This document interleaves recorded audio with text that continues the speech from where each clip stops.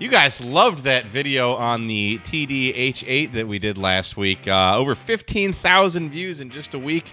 Uh, thanks for watching. And uh, I, I looked at the stats on Amazon. I over 50 of these were sold. You guys, you guys sold them out. They're back ordered now. One thing I didn't check because I, I honestly don't care, but a lot of people have commented uh, was the power rating.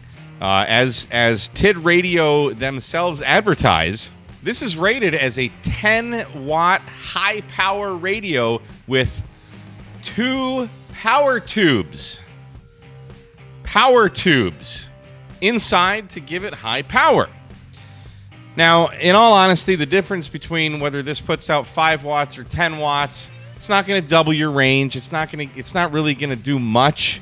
But that is one thing that I didn't test. So I figured let's throw this on the meter today and see does this actually put out 10 watts or 8 watts or 11 watts? Does it do it on UHF and VHF? Uh, you know, ham, GMRS, what does it do? So let's uh, hook this up to the meter and find out today on K8MRD Radio Stuff. So we can remove the antenna here. I've got one of these little SMA adapters, little screw in here. And then I'm using uh, some very low loss coaxial cable. This is the uh, Hyperflex 10 Sahara from Messi and Paoloni, so should pretty much mitigate any kind of losses we might get with uh, some less than stellar coax. So let's flip that to VHF and we're going to go to VFO. And let's check 144 megahertz. And we'll put this on low power. This should be tri power. We have low, uh, medium, and high. So we'll put it on low for now. Save that. So 144 megahertz. And we get about two and a half watts output. So that's not terrible. That's what I would expect. Now, would we get, say, maybe five watts? On medium power?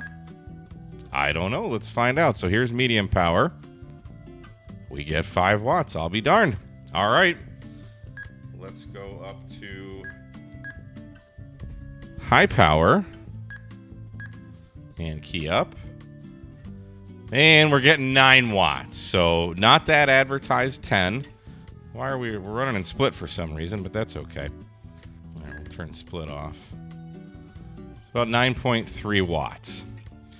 Now, let's go sometimes they change a little bit when you go up in frequency. So let's check uh, low power at 146 megahertz, about two and a half.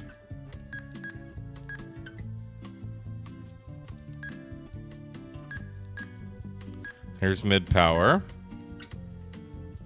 A little bit lower now, 4.3 watts. It was 5 watts at 144.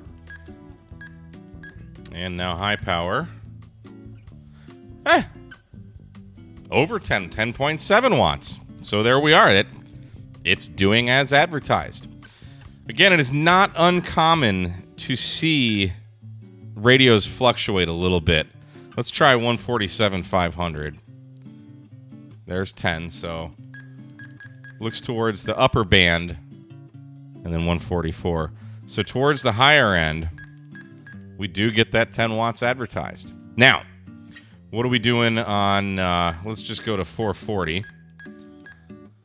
And we'll go to low power, see what that does on UHF. 3 watts on low power UHF, okay. Here's mid, 6.7 watts. Usually UHF uh, is lower. You don't you don't get quite as much power. Let's see, high power 446. Whoops. 12 watts. Wow. Okay. All right. let's try 446. And let's see, we'll just go uh, low power again. Three and a half watts, that's about the same.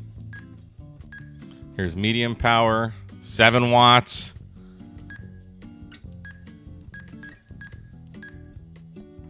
And high power 446, 9.5. Still pretty darn impressive, given that like every other high power radio that I've reviewed uh, is is always much much lower on UHF than it is VHF. Now let's try um, let's try the GMRS frequencies here, 462, uh, and let's see. Let's go to low power on GMRS. Whoops.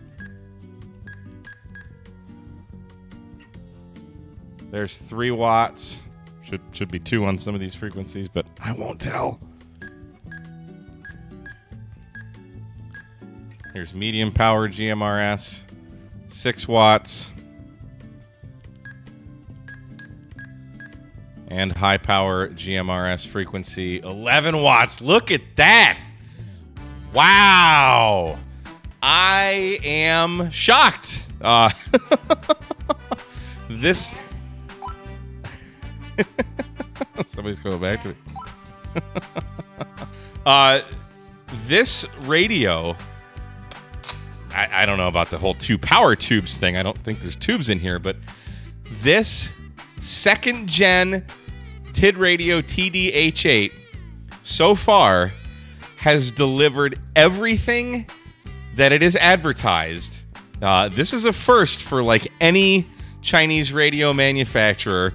I love that it's Bluetooth programmable. They got that Bluetooth dongle too that you can use for like uh, other other radios. I believe it does still work with this because it's got that kind of Baofeng Kenwood style thing. So, anyway, just a quick one here. Wanted to show the power output of this. I have not done this. This is all you guys are seeing this live with me.